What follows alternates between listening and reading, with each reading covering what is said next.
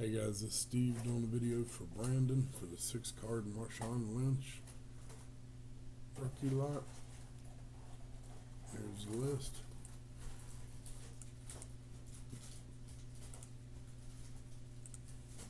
Type live. Ten fourteen. Paste the list. Two dice, four or more seven times. It is ten fifteen. Good luck.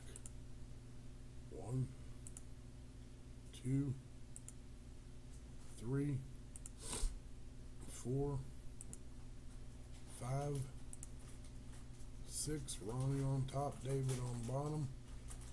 Dice roll seven. It is ten fifteen. Seventh and final time. Good luck.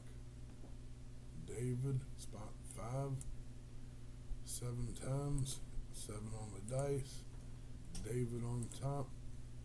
It is ten fifteen. David, send your info to Brandon. Type done. And it is ten fifteen. Thanks.